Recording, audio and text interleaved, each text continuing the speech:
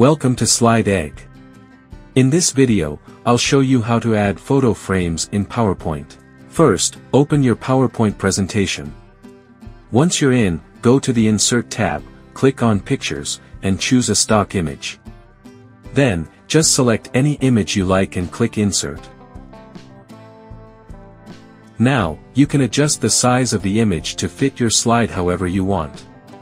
Once the image is in place, go ahead and arrange it on your slide.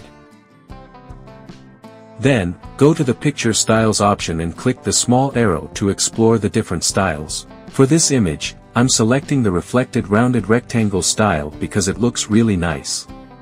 Next, let's work on the second image. I'm going to choose the perspective shadow white style for this one. It really makes the image pop. Now, let's move on to another slide, and I'll apply the rotate white style for a different look. Now, I'm going to show you how to create a manual border for a picture. First, add a new slide, go to Insert, click Pictures, and select any stock image. Once it's inserted, right-click on the image and choose Format Shape. Now, under 3D Rotation, click on Presets and select Perspective Right. Next, let's add some shadow. Click on the shadow option, go to perspective, and select upper left for the shadow. Then, go to the fill option, choose line, and select solid. Increase the width to 25 points and adjust the join type however you like. After that, click on the gradient option and change the color of your frame.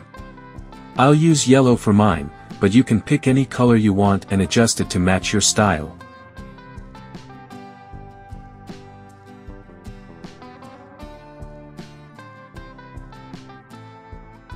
And that's it. It looks amazing and is so easy to do. And that's how you add photo frames in PowerPoint.